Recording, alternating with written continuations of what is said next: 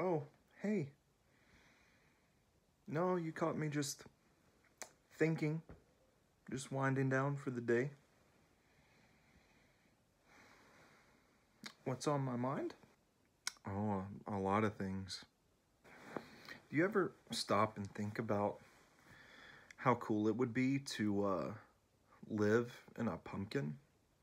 Why did we invent short sleeves? Like, I get wanting an extra layer of protection over your arms, but like down to here, it does nothing. It's just a little flap of fabric there. I mean, it seems like sleeveless is the way to go. It's the more comfortable, cooler experience. And then long sleeves help in the winter. We don't need short sleeves. Who did that?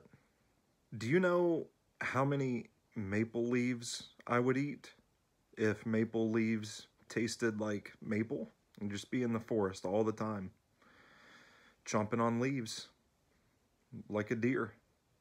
Do y'all ever think about like how weirdly descriptive we can be about some things and then just totally lazy on others? Like this vegetable is a cucumber. This fruit is an orange. No one should ever slip on a banana peel again. As often as slipping on a banana peel has been portrayed in popular fiction, we should all be well aware of the dangers of banana peels by now. Why do we say weed eated? Doesn't that sound dumb? Why does weed ate sound so bad? It should be weed ate. I weed ate today. You don't say, I eated a bowl of chili for lunch. We just say things funny sometimes as humans, you know? I don't know who needs to hear this today, but no one cares at all. That's what's on my mind today.